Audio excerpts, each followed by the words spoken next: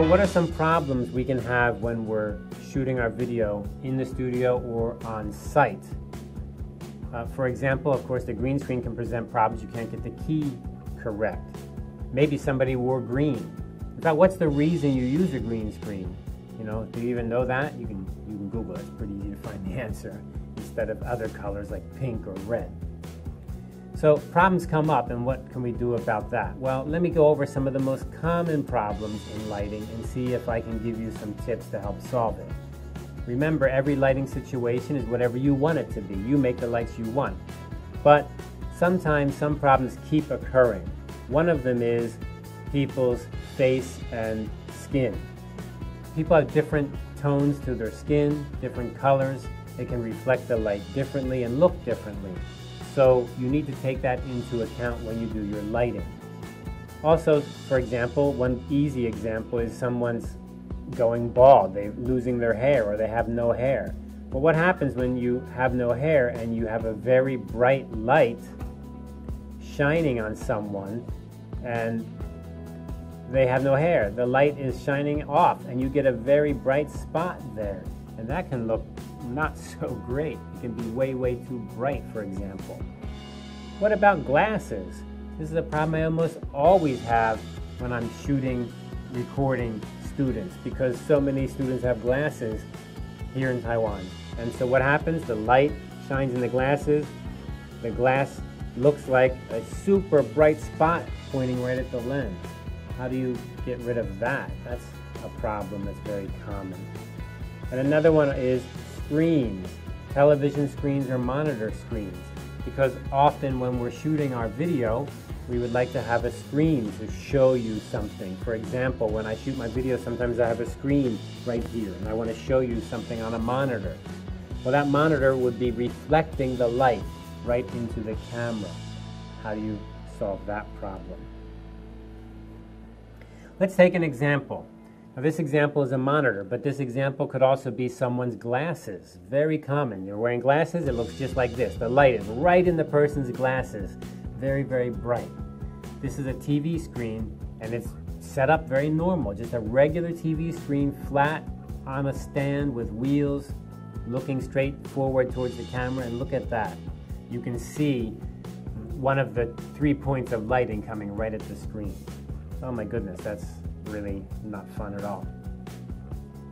So what we can do to solve that problem is very easy on one hand, but difficult on the other hand.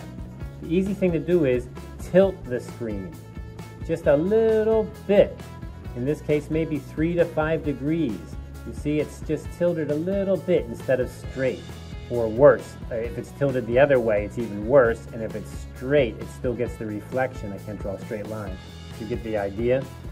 Now the light from the one, two, one and two point lighting comes down to the screen and bounces down. But if the screen is straight, then the light has more chance to bounce up towards the camera and the camera may catch that light. And if the screen is angled backwards, it's even worse because now that'll go directly into the camera. So you need to think about that angle. That's one way to solve it. Here we just tilt the screen a little bit. Now, how does that work for glasses? Well, in glasses, it's the same thing. Instead of looking directly at the camera, the person can just tilt their head down a little bit. And you can tell them, tilt your head down a little bit. Ah, that's perfect. You can raise your lights, of course, get the lights a little bit higher, but even so, that doesn't always help. Sometimes the light's still in the glasses a little bit, you need to remind them, tilt forward a little bit, tilt forward a little bit, and they just tilt a little bit. Not this much, that's way too, just a little bit on the head, and the reflection will go away. That's easy to say, it's hard to do. Because when you tell people to do it, they listen for one minute and then they forget and then they lean back. And of course, if they lean back, the angle can be the opposite of what you want and make the reflection even worse, which is, uh, yeah, no fun at all. So you need to keep reminding people. Not an easy job. Here we have the result. Now we're from the camera's perspective, looking at the screen. The screen is tilted just a few degrees, three degrees forward, and now there's no camera reflection at all. Completely clear. Remember, just a minute ago the lights were there, and now the light reflection is kind of up higher. It's off here, you can't see it because the screen is tilted at a slight angle. Okay, so that's it for lighting. Again, there are many great lessons by many experts and amateurs on YouTube who show you lots of lighting. I would say that the biggest problem for lighting though is just getting the lights. It's easy to say I need three-point lighting, but then you need to have at least three lights. Well, Professor Morden, is that really so important? I'm going to make a video with my friends and we're just going to go outside and shoot something. Sure, that works. But what about reflectors? You can take reflectors to reflect light. That will help. Sometimes you've seen people when they're doing wedding photography, I'm sure, and they have these great big silver reflectors to reflect light, or these white styrofoam boards to reflect light.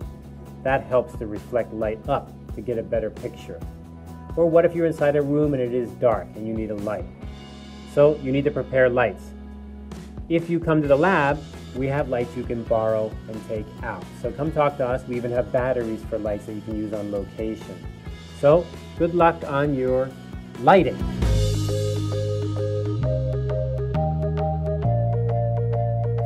In front of me are two lighting equipments that you will find in the Marketing and Lab Center, but for the sake of time, I'm only going to go over the halogen lights. Now, the halogen lights is fairly easy to use. First of all, you would plug the light in, press down on this button to turn it on, and then adjust the brightness based on your preference. However, there is a lot of advantages and disadvantages that may help you decide whether or not you prefer halogen lights or LED lights. And one of them is that um, halogen lights are extremely cheap. You can get these things uh, a couple hundred dollars in the hardware store and compared to um, LED lights which are overwhelmingly priced about $10,000. Now second, because these things are so small, they are really really portable in these boxes and it's convenient for you to go whenever you need a quick setting. Now on the other hand, um, LED lights are extremely sustainable and they have a longer um, lifetime and they use uh, really, really cheap power when compared to halogen lights. Finally, I forgot to tell you a very important side equipment. These cookie baking gloves. Because uh, halogen lights are so hot and so bright, they get overwhelmingly hot and it's impossible to touch them with your bare hands. So it's important to, for you to wear these gloves whenever you want to move them, turn them on, or turn them off.